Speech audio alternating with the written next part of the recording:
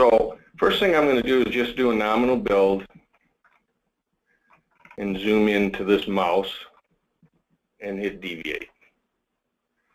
Okay, so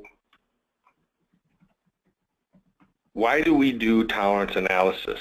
The purpose of uh, tolerance analysis is to understand and validate that if we go into production with our build process and our component part tolerances and our indexing method, we can meet our final dimensional goals.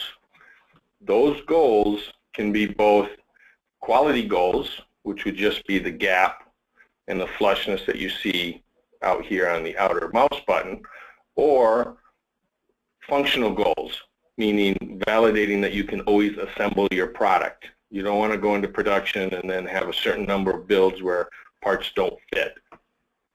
All of that gets validated within 3DCS when you're doing your tolerance analysis.